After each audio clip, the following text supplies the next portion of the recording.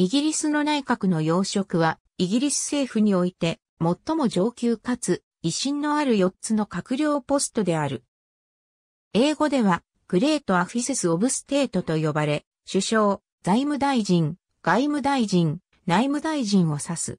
慣例によれば、総選挙後の組閣か任期途中の内閣改造かのいずれかにおいて、首相が閣僚を指名するとき、最初に発表されるのが、財務大臣、外務大臣、そして内務大臣である。イギリスの内閣の要職は、王室で最上級の役職である、国務大官が世襲で名誉ある称号となって、実権を失い、別途王室によって任命されたメンバーが実務を遂行するようになったことで誕生した。財務大臣は中世に期限を持っており、最古のイギリスの内閣の要職である。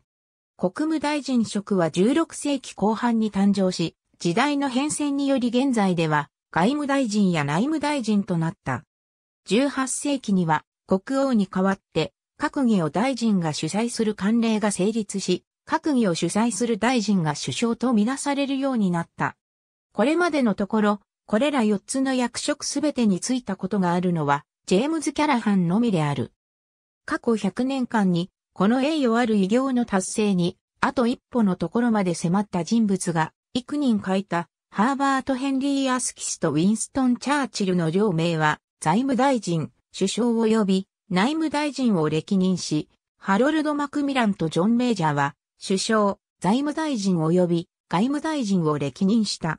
ラブ・バトラーとサージョン・サイモンは、財務大臣、外務大臣及び内務大臣を歴任した。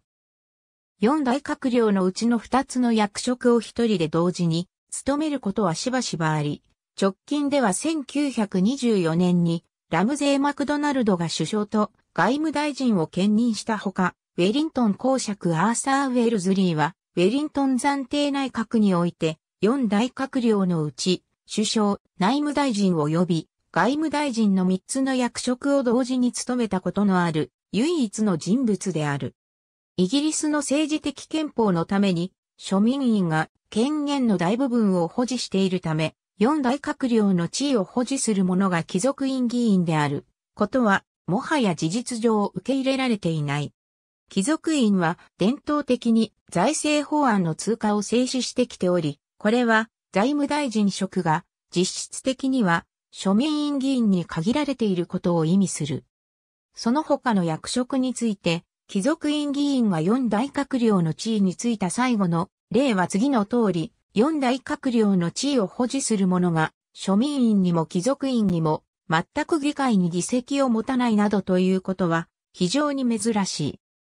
1963年の一時期、アレック・ダグラス・ヒュームが首相に指名された時のことである。ヒュームは10月23日に自身の爵位を返上してから庶民院にくら替えして11月7日の補欠選挙で議員に選出されるまでの間、首相の地位にありながら国会議員ではなかったという状況が発生した。より実質的な例としては、パトリック・ゴードン・ウォーカーは、1964年の総選挙で敗北を喫して、スメスウィック選挙区の議席を失ったにもかかわらず、1964年に外務大臣に指名され、1965年1月に辞任するまでの3ヶ月間、地位を保持した。四大閣僚のいずれかの役職に就いたことのある女性は5名のみである。4つの役職のうち3つは女性が務めたことがあるが、財務大臣のみ女性が就いたことはない。2016年7月に首相に昇進したために、テリーザ・メイは2つの異なる四大閣僚の役職を経験した最初の女性となり、さらに第一次、明内閣で、アンバーラットが内務大臣に指名されたことにより、史上初めて2名の女性が、同時期に2つ以上の4大閣僚の役職を占めた。ありがとうございます。